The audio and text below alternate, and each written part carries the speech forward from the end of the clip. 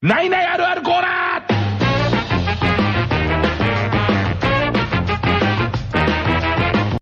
タクシー手挙げて、こう、キューって止まって、それで、じゃあすいませんって行く先言って、で、ふっと顔を上げたら、あの、バックミラーに映ってる運転手さんが明らかに青鬼だった時のあるある。ねえ、ということなんですけども。でこういうのも、あの、取材に来た記者がカマキリだった時のあるあるみたいなものは、僕もらって帰ってこれてますから、だからちょっと変な話ですけど、本当にね、あのー昔から僕はその意味のわかんないことで、その、落ち込んだりするけども、俺ちょっとだけ大人になったっていうのを、あの、自覚するのは、そこからお土産を持って帰れるようになってきたり、あと、お土産持って帰ってきた時のことが楽しみで、むしろ上がってきたりっていう、それはすごい俺の中で、あのー頑張れるようになったね。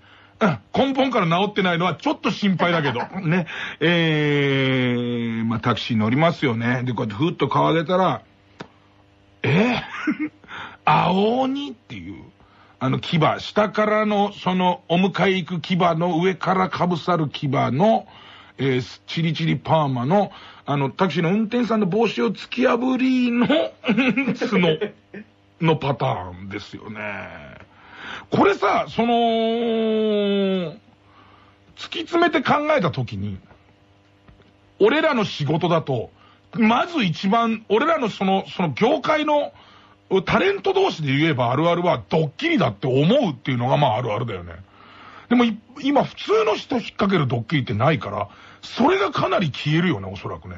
それで、まあ普通はね、あなたの時はどう思いましたかっていうのが結構いろんなの来てますんで、えー、ペンネーム、地獄親父。桃太郎寿司の看板や、桃太郎急便の車にドキッとする。あるあるあるあるあるあるあるある切れんじゃねえの。不機嫌になられたら止まるパターンですよね。えー、ペンネーム105。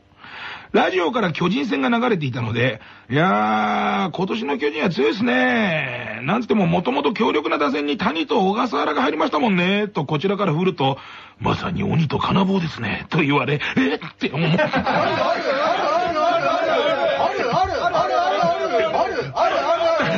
これは、単に怖い形相のタクシーの運転手さんに乗っただけだっていうのを自分に言い聞かせて言い聞かせて、だから普通でいいはずだよ。絶対普通でいいはずだと思ってずらしたのに、まさに鬼に金棒ですねっていうのに対してのだよね。これはある。あるってなんだよ。えー、ペンネームバギーを運転するモヒカン。当たり前のように人を引くだ。あの、あるあるボタンは、構成の渡辺くんが、渡辺くんが押してますけど、当たり前のように人を引くかな？鬼だからね。鬼ってそういうもんだもんね。鬼はいだもんね。そうだよね。うーん。ペンネーム、怪盗ゴリラ天狗。あ、僕あの、正直じいさんの孫なんですよ。あ、その説は本当ありがとうございますって言ってみる。ある？ある？まあね。ある？ある？ある？えある？ある？ある？ー、ペンネームオニオンフェイス。桃太郎で買ったゲームを袋ごとカバンの中に入れる。そーっとだよね。多分、うわ、これどうしようと思って、とりあえず絶対怒らせない方がいいと思って、は、あこの袋、桃太郎のね、高額中古ゲーム買い取り中の、おーと思って、そーっとガサって言わないように、ね、えー、えー、えーっとですね、続いてはですね、ペンネームレオパルドドン。いつもなら、あの、高円寺の桃太郎寿司の前でおろしてくださいと言うけど、何か怒られそうだから、ライオンズマンションの前という言い方をする。みんなやっぱりそこだよね。そこだね。えー、ペンネームバカポテト。桃太郎さんの曲をハミングして反応を確かめる。ああ、乗って気づいたけど気づいたことを悟られないようにしながら汗拭きつつ、うーん、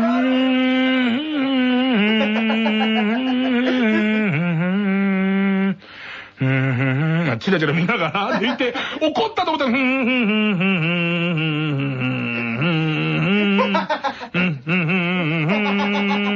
早稲田、早稲田な、全然関係ねえやつ。なんで早稲田の効果歌ったのかわかんないけど、そこにちょっとずらしていくパターンね。えーえーペンネームマッチョドラゴン。運転手さんに行く先を告げて、で、その後よくこう運転手さんの方から何々タクシーのなんとかですお願いしますみたいなのあるじゃん。あれの、お願いしますっていうところを、お願いしますと、青鬼が言ってきたダジャレを完全にスルーする。ラジオネーム黒い豚カレー。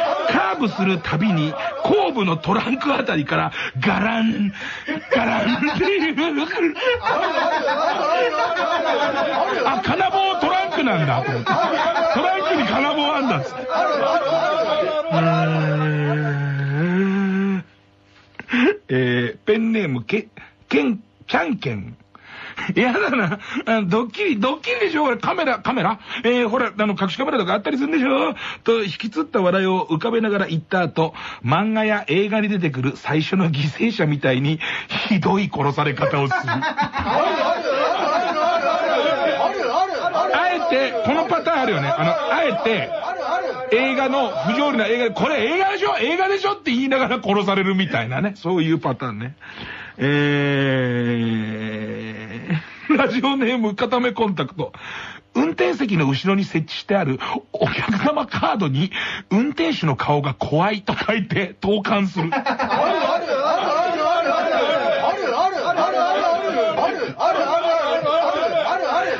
ジオネーム足軽。あ禁煙車かな？と言って降りようとするが、それがしも数ゆえ、構わぬが、と青鬼。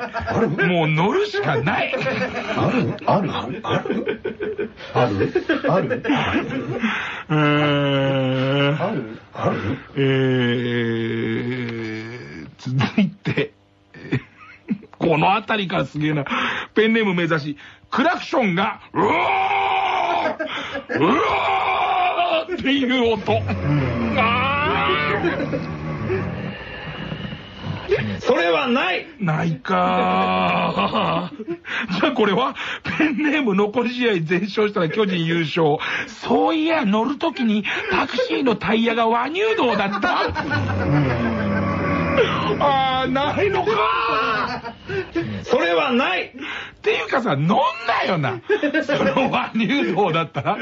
タイタクシーでもこのところからすげえ俺は好きなんだけど、タイヤが全部和乳道で、東京無線のあの、ーえーっと、東京タワーのあの上の提灯が、提灯の部分が東京タワーじゃん。あれが明らかに角だったら、で、バンパーも牙が出てて、バンパーの最初の方も牙出てたら、乗んなよ、それは。それはむしろ鬼だもの。鬼以外がいないもんね。でもすごいのがね、このコーナーは、よく構成の渡辺くんが僕にいつも突っ込むあるあるじゃねえじゃんみたいなこと言うけど、あるあるなんですよ。だって、デーモン小暮大佐ペンネーム全然違う人だよ。ね。目的地に着いて、車から降りた時にタイヤが和乳道だと気づくって、すごくねお前ないって言うけど、見てんだって二人とも。それはない本当になぁ。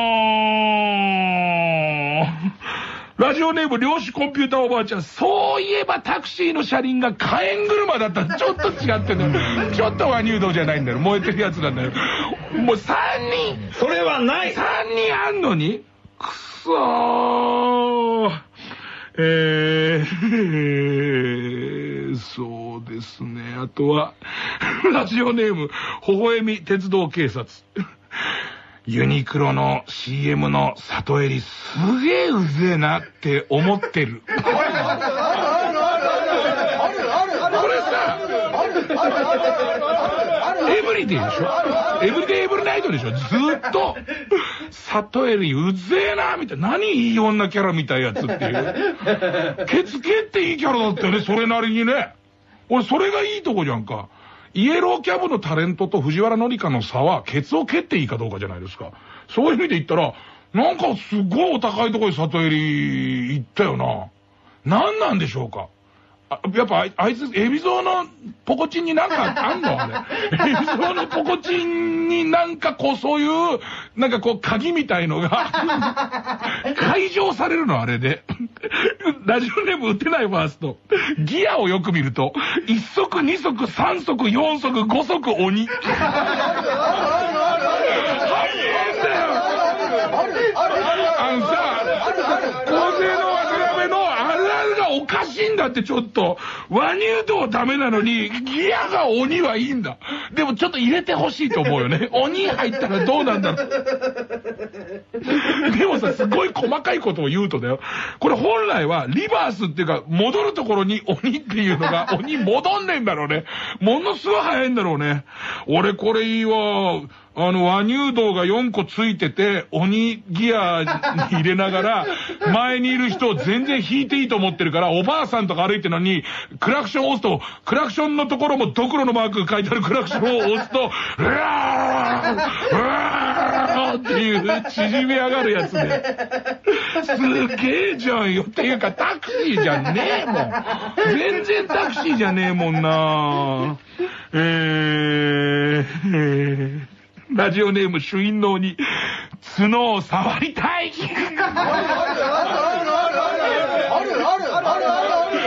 ラジオネーム、このサバ泥棒。あ、コンビニちょっと、あの、行きたいんで、寄ってもらっていいですか？と言って、コンビニで電力豆をしこたま買い込む。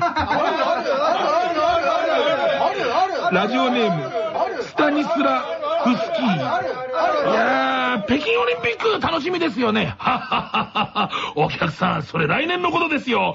鬼だ、間違いねえ。間違いねえ、今の。うまいな。えー、ペンネーム田村 R。青鬼の、青鬼の声が、細川俊之そっくり。ある？ある？俺は、ちょっと今の、あの、構成の渡辺の、その、ジャッジをすごい信用したのは、細川俊之よりももっと低くていいもんね。ビリビリしてる。もっとビリビリの声でもいいかなと思ったんで、何この話し合い。さあ、ということで、えー、じゃあ来週は何かはですね、ちょっと CM 開けてから行きたいと思います。あでもね、なんか、青鬼タクシーのフォルムみたいなものに今回ちょっと、うっとりし始めちゃって、えー、ペンネーム空き箱。ナンバープレートが0202って書いてある。鬼鬼になってるっていうで、城ヶ島かと思ったら鬼ヶ島の鬼鬼だった場合に乗るなっつう話なんだけど、絶対乗んなよっつって。えー、ペンネーム、メガネのメガネ。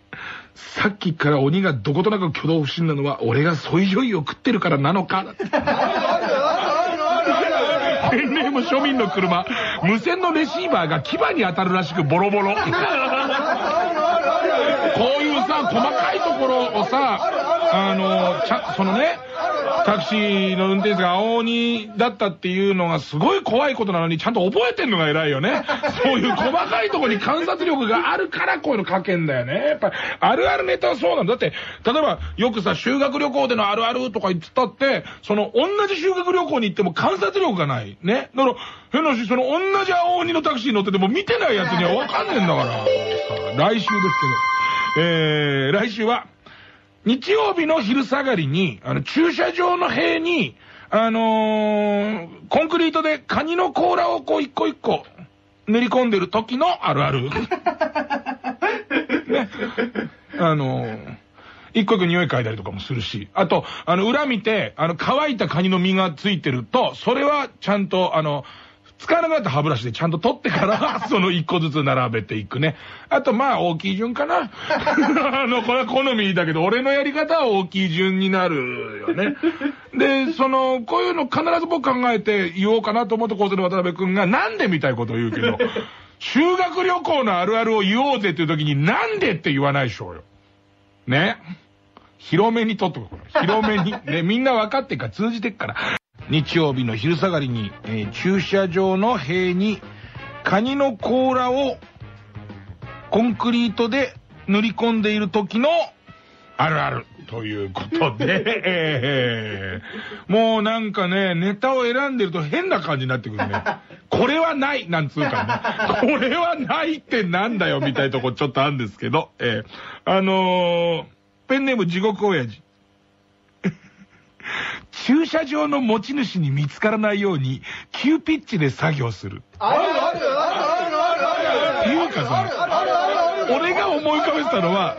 さすがに自分ちのなんだけど、これ借りてるやつなんだ。俺さ、まさか人んちのじゃねえと思ってんだけど、結構多いのよ。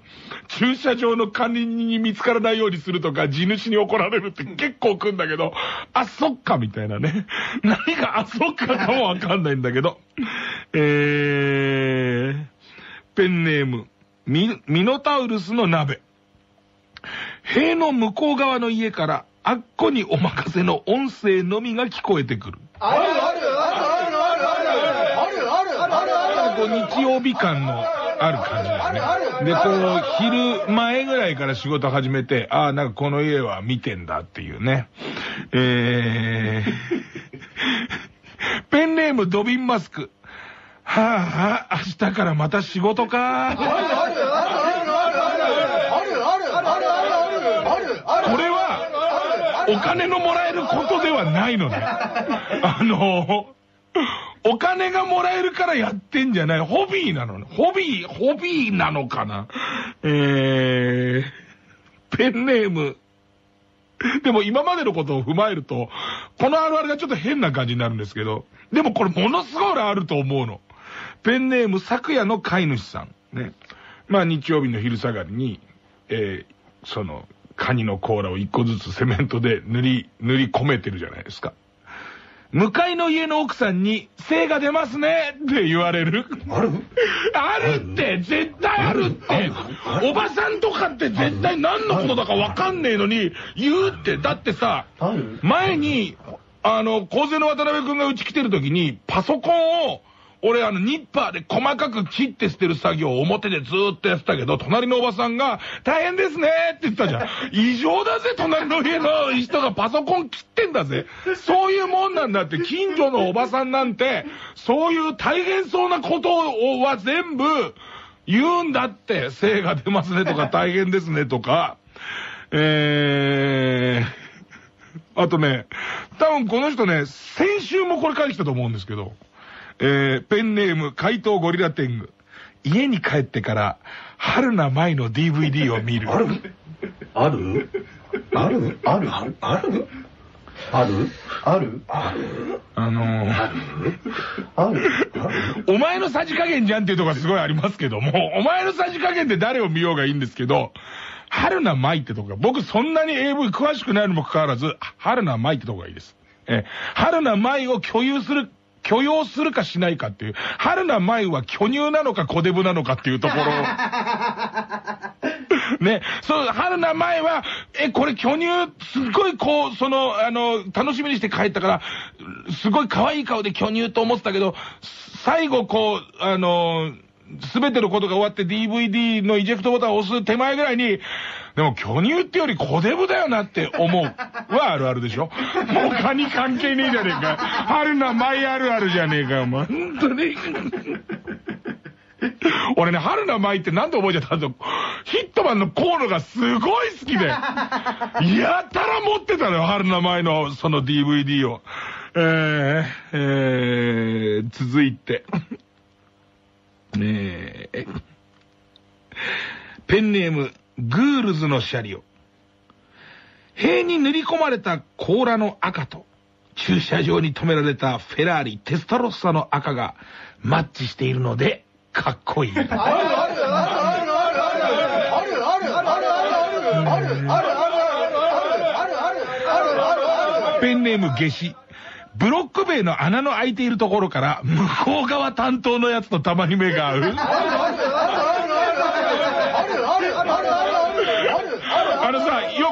ひし形とかに穴開いたりするじゃん。あそこで、あ、あって思うんだろうね。で、あって思ったら向こうのやつは、伊勢海老の甲羅持ってた時に、あ、お前伊勢だお前伊勢なの？みたいな。ねえー、えー、ペンネームドビンマスク。えー、日曜日の昼下がり、えー、駐車場の塀にコンクリートでカニの甲羅をずらりと塗り込んでいる時のあるある。あカニ味噌残ってたペロセメントだペロじゃねえよ。ペロじゃねえよ。えーペンネーム便所。甲羅の中にきちっとコンクリートを詰めていないと空洞ができる分割れやすくなるので、中途半端な仕事すんなら帰れって親方に怒られる。親方親方はいるわな。そりゃそうだな。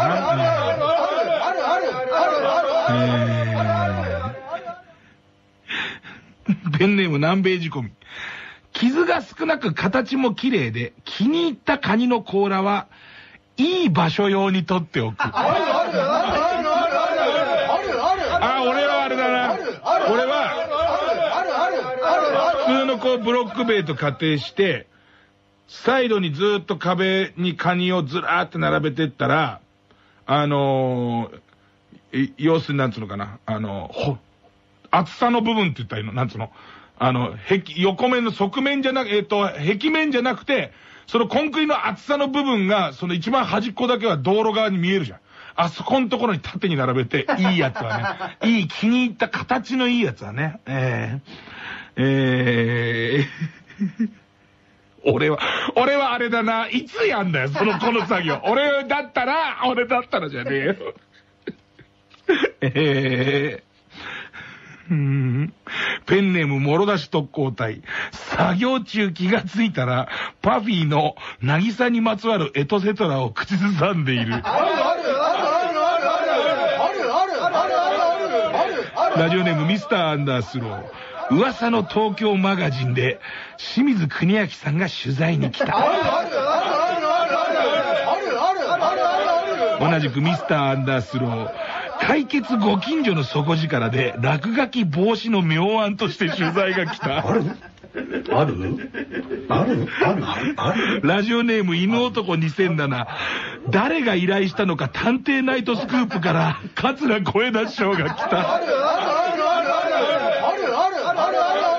ラジオネーム一郎。スパモニ機動中継隊がもううる？せえよ。いろんなもん来てんじゃねえかよ。パーモーニングをさ、スパモニっていう言い方で世間で定着してんのかな？いつもスーパーモーニング出てる時にさ、その、まあ、あの、ご存知ない方は、その日起こったニュースを、ニュースで中継者を出すほどではないがぐらいのニュースに行ったり、あと、あの、起きたばかりの現場に駆けつけるのが、その、スパモニ起動中継隊っていう、ちょっとこうネットを使った中継隊なんですけど、で、必ずスパモニ中継隊がどこどこに行ってますっていう時に、俺がちょっとだけ思うのは、俺たちの中ではスパモに、スパモに言ってるけど、あんま外で定着してないとすると恥ずかしいなみたいな。なんかこう、コブスが、ね、自分のことをちょっちゃんって呼べって強要してる感じってあるじゃんか。何がちょっちゃんだよこの豆タンクがってみんなが思ってる感じちゃんじゃん。ねあ、俺の中で春菜舞は可愛い豆タンクの感じなんだよね。春菜舞もういいっつの。えー、えー続いて、ラジオネームがない、えー、巡回中のおまわりさんに、あ、何やってんのかな？と聞かれ、見ればわかんだろう。目も合わさず言い返す。あるあるあるラジオネーム悪徳ロリータ。やっぱりユニクロの CM の里襟がムカついてしょうがない。あるあるあるあるだからそういうことですよ。何をやっててもですよ。何をやってても、ユニクロの CM の里入りはムカついてしょうがないんだよね。えー、えー、やっぱみんなあるあるすごいないろんなあるある出してくんなえー、ラジオネームワンワンのチンチンがギンギン。この駐車場の件がきっかけで、姉貴の結婚話が2回ダメになっている。めた方がいいよ、もう。あのー、ずっと聞かない約束で聞かないようにしてきたけども、あのー、やる必要性は何？これ、なんでやってんのっつうね。えー、ということで、えー、じゃあ来週に向けてのお題はですね、そうですね、えー、ポケットというポケットにタランチュラが入っている日に限って専務のお供で銀座。そんな時のそんな時のあるあるですよね。まあ、ある意味もうこれ自体があるあるですからね。あの、ポケットというポケットにタランチュラが入ってる日に限って、専務って銀座行かないかって言うよね。あるあるみたいな話ですけども、ねえ、えあのー、まあ、いわゆるあれですよ。あるあるの中でもサラリーマンあるあるですよね。ポケットというポケットにタランチュラが入ってる日に限って、専務のお供で銀座。そんな時のあるあるっていう。ねえ。芸人の僕ですらね、5、6回あることですから、ラジオ機のサラリーマン、えー、奇形にはですね、かなりこう、あるんじゃないかと思いますけども、難しいですね。あるあるネタの難しいのは、みんながあるって思う、あ、俺も、うわ、いいとこついてくんなと思うんだけど、じゃあ、本当にこう、普通にあることだと、こう、報告みたいになっちゃうじゃないですか。あの、みんなが、ああ、そうそうそうなの、俺の時もそうだったっていう、そういうのがいただきたいです。えー、じゃあですね、えー、ペンネーム、ニック・ジャガー。突然携帯が鳴り、専務に、あ、ちょっとすいません、と断って出たら、携帯のストラップにタランチュラががっちりくっついて出てきた。あのね、これすごいいいなと思うのは、あの、ちゃんと、あの、大人のサラリーマンの方に決まってるんです、これ書いてくれてるのは。携帯だってそのままパカって出すの失礼だから、あ、ちょっとすいません、つって出して、ね、出して、で、しかも多分、この人はしっかりした人だから、携帯だっていうのを分かって携帯の部分を取ったストラップにがっちり、チュラが、チュラがついちゃってたんですね、これね。えー、で、えー、っと、面白いのが、なんつったのかな。俺らタランチュラについてさ、タランチュラのイメージ、イメージのタランチュラと、本当のタランチュラの生態が分けられてないと思うのね。だから、えー、糸を、糸を吐くのか、毒を吐くのか吐かないのかがあんまわかんねえ。あんまわかんねえままみんなあるある書いてるのがすっげえ面白いんですけど、多分タランチュラって、あの、猛毒のイメージあるけど、そうでもないんだよね。実は。やぶか程度だと思うんだよね。強めのやぶか程度で、いきなり噛まれたら死ぬイメージあんじゃんか。多分、厳密にはそこまでのタランチュラは少ないような気がするんだけど、まあどうでもいいですけどね。えー、えー、ペンネーム105。お客さん、閉店ですよ。と言われ目を覚ますと、起こしてくれたボーイ以外誰もいない。そして、ポケットの中が、から。も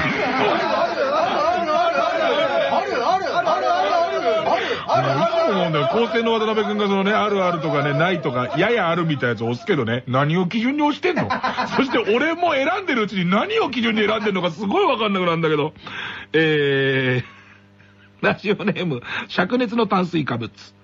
毛ガニの赤ちゃんと言い張る。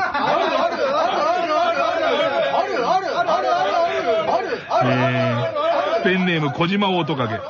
専務がタバコを加えたので、ライターで火をつけようとしてタランチュラを出してしまい、専務の高級葉巻に毒液をかけてしまい、一本無駄にしてしまってすみません。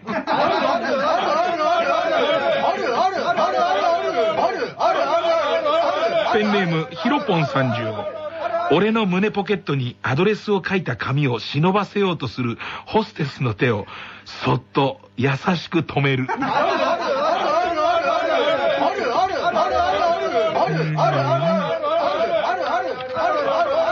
ペンネームうどんうどん。専務と飲んでいる最中にふと専務の頭を見るとタランチュラが、やばいととっさにタランチュラを掴むと、タランチュラじゃなくて専務の面。テーブルは気まずい雰囲気にと。あるあるあるあるあるあるあるあるあるあるでね、こういうのをメールでネタを選ぶときに読みながら俺がポソッとつぶやくのが、昔のクレイジーキャッツの映画かよみたいことを突っ込みながら選んでんだけど、そんなシーンはないんだよね。タランチュラのいるシーンが多分クレイジーキャッツの映画にないんだけど、なんか俺の中にはそういう、なんかね、あの、感じ？えー、他にもそんなあったもんな。えーっとですね、他にはですね、ペンネーム調子に乗りを。逃げ出したタランチュラが専務の背後でガサゴソ。専務、専務、後ろと注意するが、専務が振り返るたびにタランチュラは隠れてしまう。だからさ、そのあるあるは何に対してのあるあるの、あるあるなわけ？俺の中ではクレイジーキャッツのあるあるがちょっと入ってんだよね、この。要するに、銀座なんか飲み行かねえしさ、そこがふわっとしてるからさ、タランチュラの生態もふわっとしてるし。銀座のクラブの様子がふわっとしてるからもうどうしていいかわかんねえんだよね。えー、続いて、えー、っとね、専務にね、そのタランチュラがいっぱい入ってる時に限って誘われるじゃないですか。ペンネーム、えー、微笑み鉄道警察。自分は社長なので問題ないだって。あある？あこれの俺に対するツッコミは、お前、タゴアキラのクイズかっていう、タランチュラをいっぱい、その、連れたまま、えっと、専務と一緒に銀座に来ましたが、専務は怒りませんでした。なぜでしょう？僕が社長だったから、的な。えー、えー、ラジオネーム、微笑み鉄道警察。ジャケットを預かったおかみさんが突然倒れる？ある？ある？両手。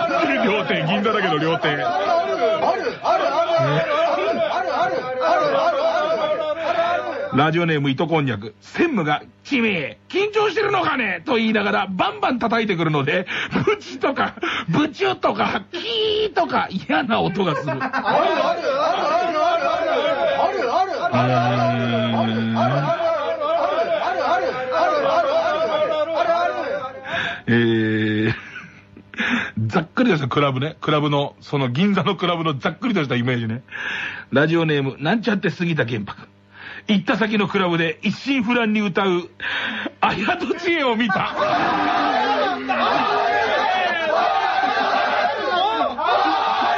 もう、全然、ざっくりでしょ俺もクラブっていうことにイメージが全然わかねえから、なんかこの、あやと知恵がすげえ歌っててもあんまおかしくないんだよね。